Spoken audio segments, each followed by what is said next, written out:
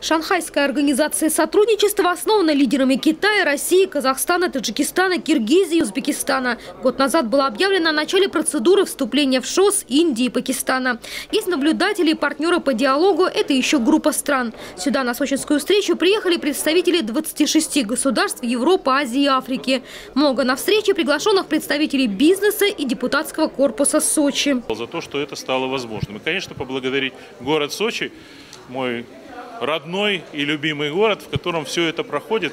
Наверное, если бы это был не Сочи, а какой-то другой город, было бы тяжелее. А здесь есть и прекрасная инфраструктура, прекрасные возможности и, самое главное, опыт проведения таких встреч. Динамично развивающаяся Шанхайская организация сотрудничества ищет новые пути международной кооперации и модель сотрудничества во время больших и малых кризисов современного мира.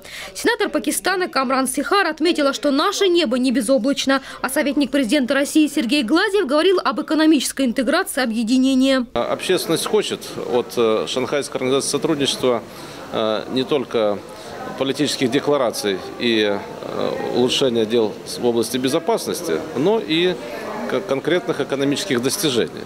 Вот я, например, думаю, что нам гораздо выгоднее было бы вкладывать наши валютные резервы в институты развития ШОС, если бы они были созданы, чем их вкладывать в американские государственные облигации. У нас много ресурсов, которые мы можем объединить, и это дало бы мощнейший толчок развитию всего евразийского материка.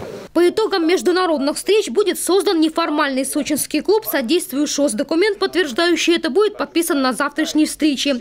А сегодня гостей поздравил с началом важного диалога глава города Анатолий Пахомов. Я искренне надеюсь, что Шанхайская организация сотрудничества будет процветать и расширяться.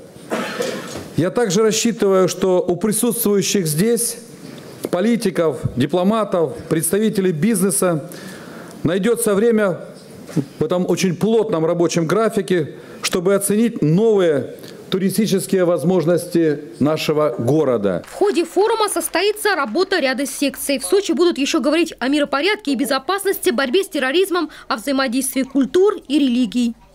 В этом году Шанхайская организация сотрудничества, 15 лет она была образована в 2001 году с целью укрепления стабильности и безопасности. И сегодня каждый выступающий, будь то представитель Китая, Пакистана или России, все говорили о расширении международной организации в рамках стремительно меняющейся мировой обстановки. Мы должны жить в мире и все вместе успешно развиваться. Таково итоговое мнение участников международного форума. Елена Овсецина, Николай Тихонов, телекомпания ia ficar tempo.